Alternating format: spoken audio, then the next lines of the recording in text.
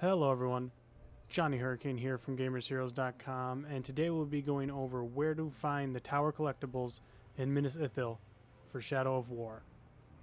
There are three towers in Minas Ithil, so let's get started. This is the first tower you go to.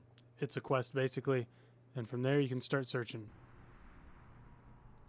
Look down a little towards the river and you will find the first barrow. That's important because you need that for the story mission.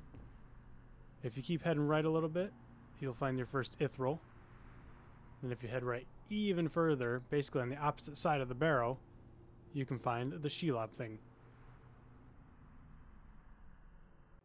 Now head to this tower next. Once you get to the top, use the orb and start searching.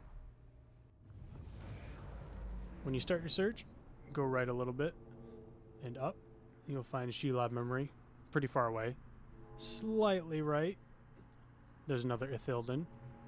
Right more on this little bridge thing. Second Ithildin. Keep heading right. By that tower there. Third Ithildin. And head right a little bit more, and then up. There's your fourth Ithildin. The barrel you might, you probably have already found, but there it is anyways.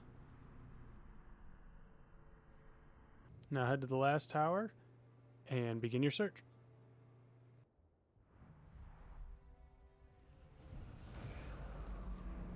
This one's pretty quick. Down to the lower right, one Ithildin. Head to the right some more, and then up. There's a barrel. You've probably already found that though. And then in this little Coliseum thing, that's the last Shelob memory. Alright, that will do it for me. You know how it goes. If you liked what you saw, got what you needed, comment, like, subscribe, and I will be back in the next area with more tower videos. Later.